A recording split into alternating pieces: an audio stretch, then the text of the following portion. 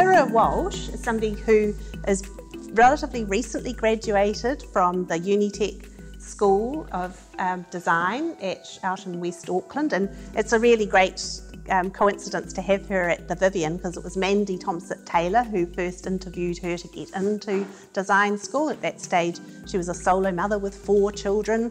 Um, the youngest, I think, was still a baby.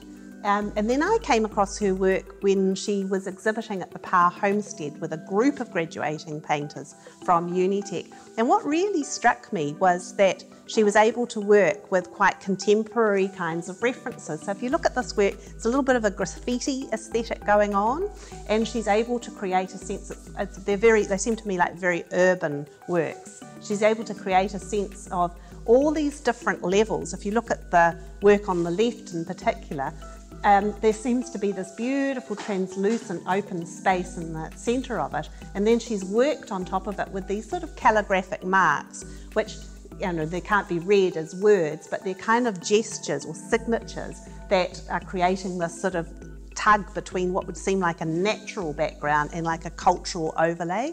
So she's got those two things going on. She's making references to kind of youth culture, and particularly Polynesian youth culture in Auckland, but also the sort of the natural um, sphere in an urban environment. And again, I think um, what's interesting about her method of working is that, like Sally Gabori, she's not somebody that uses an easel or works in an upright. She works on the ground, so she's literally a helicopter over her space and creating something, trying to create a sense of something of a void in the centre of the work. So you often see these very disparate elements, kind of almost centrifugally, kind of distributed around the surface.